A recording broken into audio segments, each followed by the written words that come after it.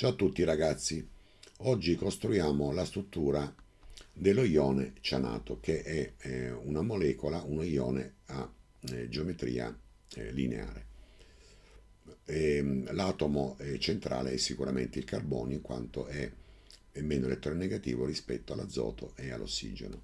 Quindi andiamo a determinarci il numero totale di elettroni. Quindi abbiamo un carbonio 4 di valenza, quindi avremo 4 elettroni. L'ossigeno, abbiamo un ossigeno per 6 è uguale a 6 elettroni. Abbiamo un eh, azoto per 5 uguale a 5 elettroni e così come abbiamo sempre detto dobbiamo aggiungere in questo caso eh, la carica negativa in quanto è uno ione negativo, quindi dobbiamo aggiungere, non togliere, quindi più un elettrone. Quindi complessivamente abbiamo 16 elettroni. Andiamo a costruire lo scheletro della molecola. Quindi l'atomo centrale è il carbonio, qui lo leghiamo con l'azoto e l'ossigeno. Dobbiamo, come abbiamo sempre detto, togliere 4 elettroni utilizzati per costruire lo scheletro, meno 4 elettroni.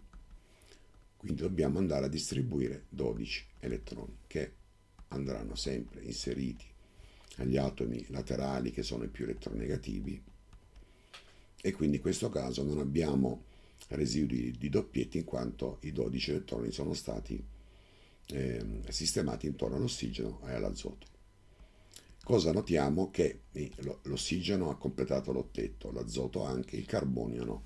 Quindi dobbiamo andare a generare un doppio legame tra gli elementi chimici. Quindi una molecola assumerà questa struttura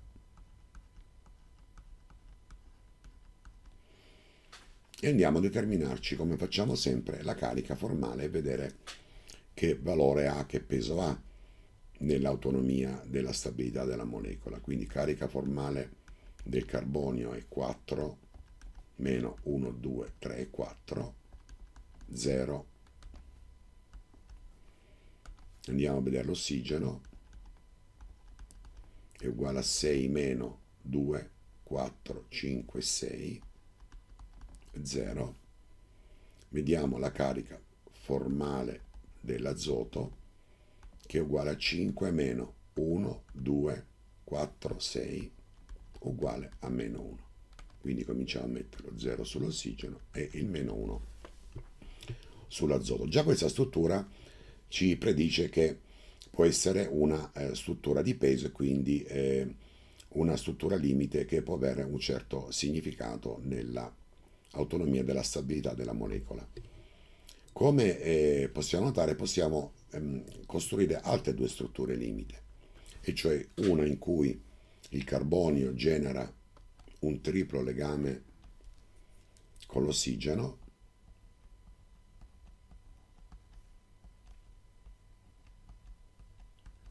e il carbonio ancora che genera un triplo legame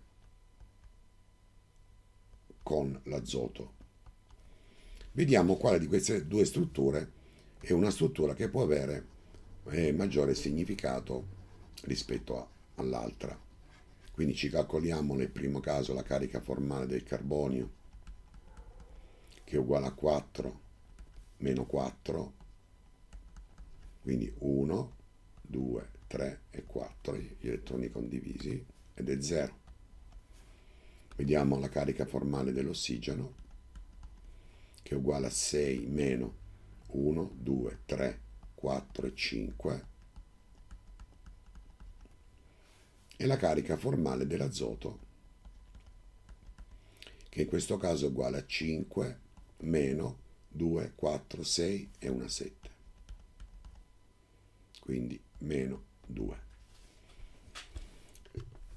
già a vedere la struttura eh, in questo modo ci dice che è una struttura eh, poco probabile in quanto abbiamo l'ossigeno è fortemente elettronegativo rispetto agli altri quindi avere una carica formale eh, di valore positivo non ha eh, grande valore, così come l'azoto avere carica formale meno 2 ci fa pensare immediatamente che la struttura non possa essere una struttura sicuramente da prendere in considerazione come struttura limite.